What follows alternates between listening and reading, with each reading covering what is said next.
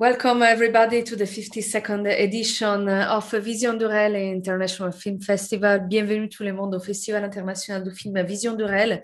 I'm very glad to be here uh, for, um, for a discussion with a film coming from our Burning Light competition. Uh, please welcome Karim Kassem from Only the Winds. Hello.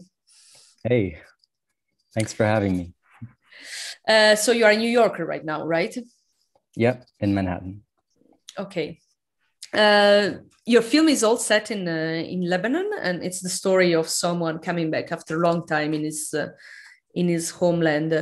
Uh, it, nevertheless, the film it's like a constant twist. There are many moments in which we are changing direction and wandering and taking other ways. And can you tell us a little bit how you build this story?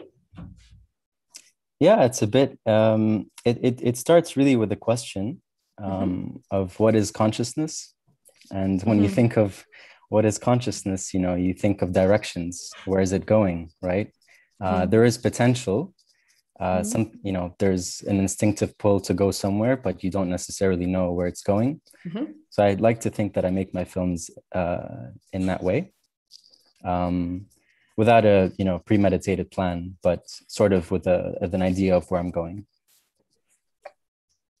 and so, what were the moment in which, uh, what has been the accidents that finally shaped the film as we see it?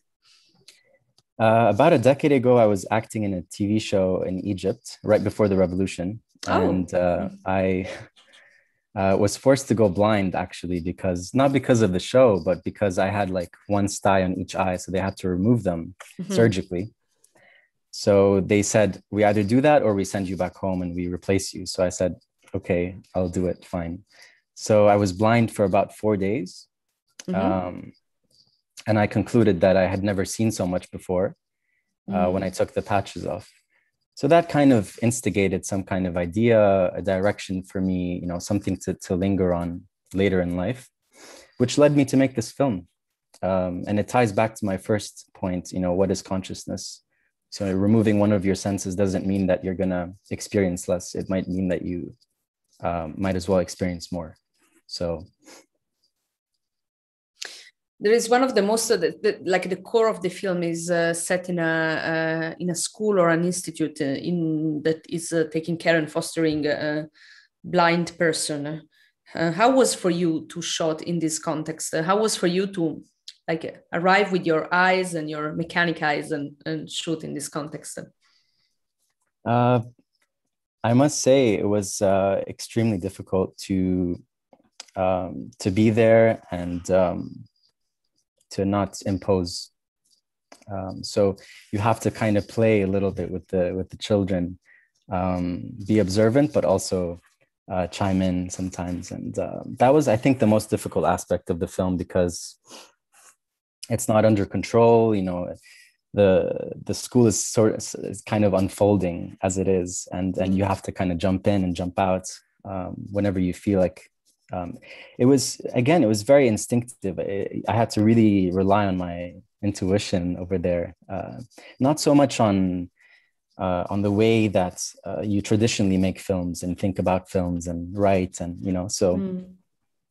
a lot of the writing was happening over there. You know there was an idea of what we where we were going Mm-hmm. Um, but uh, that you know went out the window, as uh, you know, as hybrid films sometimes do, because of the nature of how everything changes. And I've learned something, you know, in my life, um, where I've experienced something rather, is that everything is bound to change, um, change directions. So I'm always open to that. And a lot of my previous films, my shorter films, also have the same kind of um, uh, direction and concept where I land in a, in a place to make a film and then something happens and I can't make it anymore. So I have to make about a film about, you know, not being able to make the film anymore. So mm. um, I've gotten kind of used to this improvisation and openness. So, I mean, I arrived to Egypt, you know, and the revolution began, and I went to Syria, the revolution began, and then I went to Lebanon um, in August, and the explosion happened, and I almost almost got killed. So I ended up making my my second feature about that. So everything's bound to change. So I'm always open to to that, and that's how my filmmaking style kind of, um, you know, springs. Can you tell me a little bit about Beirut? Because I think that the city is uh, like main hmm. character in the town. And uh, in, can you tell me how you related to it and how was for you to come back to film uh, where you have been growing up? It's a it's a very emotional journey going back home every time because you know my parents lived there and I grew up there. Um, to some degree, I'm I'm attached to the the notion of space and and uh, family, of course, and roots. But I'm also a person that's not very attached in general. I'm very detached uh, emotionally at the same time. So I have this kind of um, dissonance, uh, so to say. Um, but you know, Beirut's a very um, abstract place to, to experience because it's in the middle of everything. You know, everyone wants a piece of it and um, there's so much history there you know civilization began uh, in that area so to speak but um, you know i mentioned in the film like you know it's a research playground so mm-hmm. um, i kind of you know I, I disagree with myself it's part of the script but everywhere is a research playground and that's what my assistant director responds in the scene to me and i i try to like weave my way around it just to avoid um, my mistake or or what I think is false, but uh, she kind of puts me on the spot, and I think that makes me vulnerable, and and I don't mind that on on screen.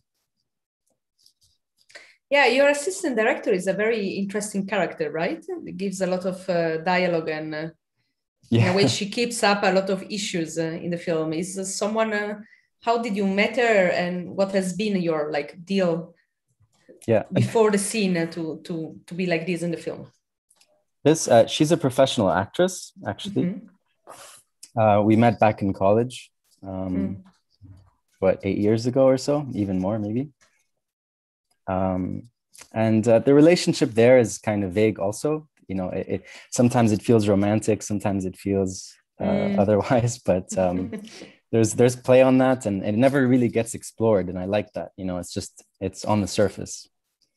Um, so yeah, I'll, I'll leave that for the viewers to to just explore. But um, the the main point is, you know, she was she was very clouded by the fact that I was not providing her with the script um, ever. So, and she's used to having scripts. So, you know, we just we flowed together, and and um, I had my certain ways of of psychologically approaching uh, her character.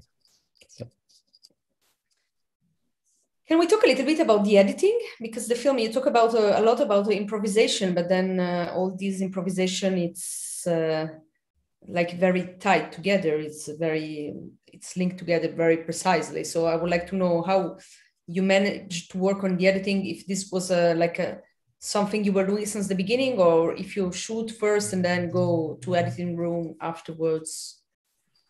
Yeah, that's a very good question. Um, essentially, I think uh, I meditate on the whole film prior. I know what it's gonna feel like. Um, I don't know what it's gonna look like in an editing sequence, um, but I know when I put something together, it's gonna it's gonna feel like what I've felt when I've meditated or when I've written the script. Same thing for me. Um, so it's it's hard, you know. It's it's like a 50-50 situation where you imagine something and then you go and something else happens of course you have to change but i'm always constantly editing as i go um, and you know as long as you stay focused on what you're um, what you're aiming for then some somehow it will feel right at the end so yeah the the editing ch- changed a lot of things but uh, it didn't really change the essence and nature of the film and what it's trying to say or explore and it was a long process compared to the shooting? Uh, no, it was about maybe four months to edit.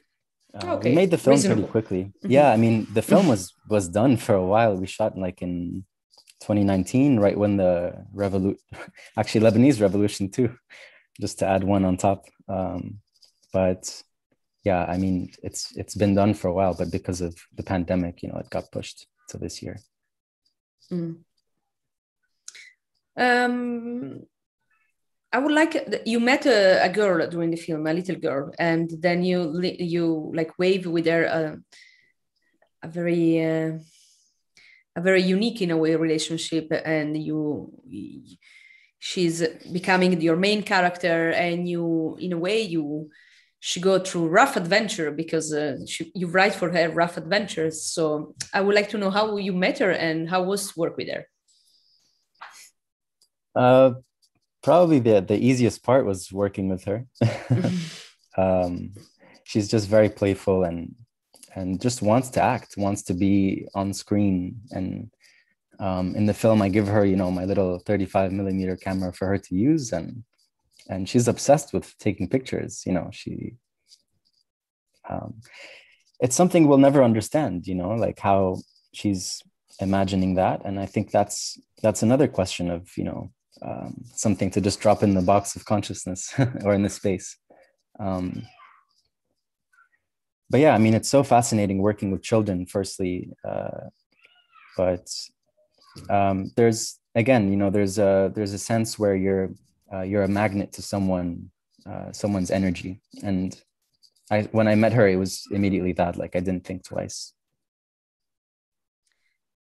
in a way she she looks to me like a really metaphorical character in a way. And uh, what she goes through and it's uh, to me i mean if the, i would i don't want to spoil what's going on in the film but still i think that the last part of the film is a lot to do with the, with what lebanon is living uh, with the country. So i thought it was like um, yeah a metaphorical dimension but also uh, a recalling of uh, of a reality that I think that you were like rediscovering after after being away.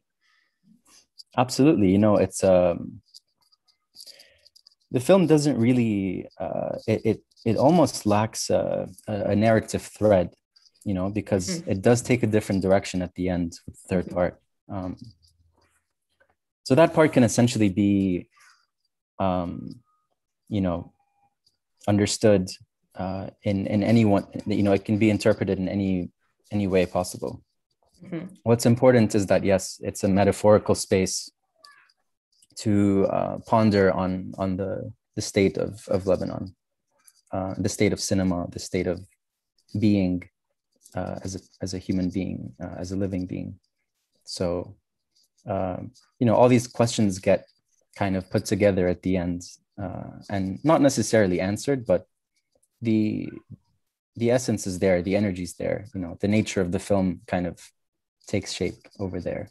Um, it moves in a very subtle way you know it doesn't really try to tell you or give you advice uh, about anything but um, i think the the ending of the film can be uh, confusing for people if they're really trying to find the answers and and find the narrative and the plots you know.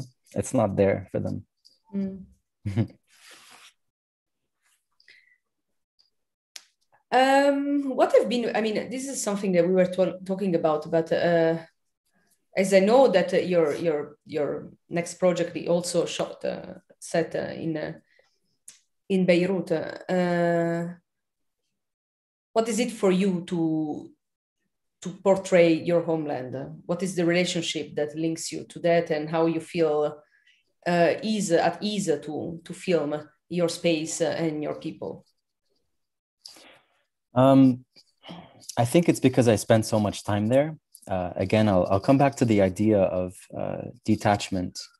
Um, I'd like to think of myself as a um, uh, a person that's just floating through the world, uh, through the through the universe, uh, as an entity. So, I feel like you know downstairs in the, on this block, I can I can still make a film. You know, I'm still dealing with human beings. Um, I think, however, there's a uh, coming down with to the roots, uh, you know, coming of coming from Lebanon and filming there. There's an authenticity that I um, I feel attached to. Not really attached to. I apologize. It's not the right term. Uh, I think more. Um, uh, it it feels more like a place that I can, you know, make something in now, um, because I'm in my early career and it's maybe easier to make films there. Um, but essentially, I can probably make films anywhere. I'm not necessarily attached to a homeland, so to speak. But uh, for now, I think I'm focusing on my films back home, and uh, there's nothing wrong with that. And it, there's nothing wrong with making films uh, abroad either. You know, many filmmakers have done that before. Um, but you know, sometimes you you can take the the tree and plant it elsewhere, but it won't bear the same fruits as uh, Kiarostami once said. Um, there is a character that is appearing at the very beginning of the film and then is reappearing after a while in the film and is in a way a very dark character. How, uh, um, please tell us something about him because for me it's very enigmatic and still enigmatic even after watching the film twice. Yeah, this uh, this character is, you know, part of the. I don't want to give away too much, but um, uh, he he feels like a um, a person that needs fixing or something that needs fixing right um, mm. he's he's suicidal obviously um, so I, I, wouldn't take him too literally uh, i would take him more as a metaphor uh, of, of the state of uh, what's going on and maybe the state of how i personally feel. Um, at the end of the day he's just a character you know that's uh, that's part of the film that I'm trying to make, you know, because there is an interweaving between uh, between the film that I'm trying to make and the film that I'm already making, and and uh, and then there's the improvised part on top of that that makes it a little bit difficult. So I think the film gives away, you know, enough cues um, to to think about, and um, it it comes back to a question of again, uh, you know, metaphysics. You know, what is the nature of our being? um, do we take consciousness to be fundamental or do we not as we haven't been for the past maybe 400 years uh, with you know um, with the successes of science so i'd like to re you know re um, reintroduce not reintroduce but uh, you know re-examine uh, consciousness from maybe a more ide- idealistic perspective an idealistic worldview. Um, so um, essentially this character yeah is a is a you know is a metaphor. I wouldn't take him very literally. Because we all have that dark side in us right? It all it exists there. There's good and evil. Um, there's there's always a balance in life. So i feel like he, he really ties down the the narrative and and reminds you that there's something in the back of your back of your obfuscated mind that's lingering um, that you're not uh, explicitly aware of at the time, but uh, it it may come up into your uh, self-reflective state, and you might think about it and be like, "Oh my God, like what what is this?" um, and you think about it. You know, you might write about it, you might make a film about it, but that character or that entity is always there in your mind. It, it'll never go away. Well, thank you very much. Karim for uh, for those words that I think that has been very enlightening and uh, beautiful to hear. Uh, I would like to remember our audience that the film is available online for 72 hours. And I will also remind our public that lives here around in Switzerland that the film is going to be shown on a big screen in cinema. Uh, thank you very much, Karim Kassem, and hope to see you soon with your next film in Nyon. Merci beaucoup. Au revoir. bye bye. Bye. It's a, it's a pleasure. Thank you. Thank you.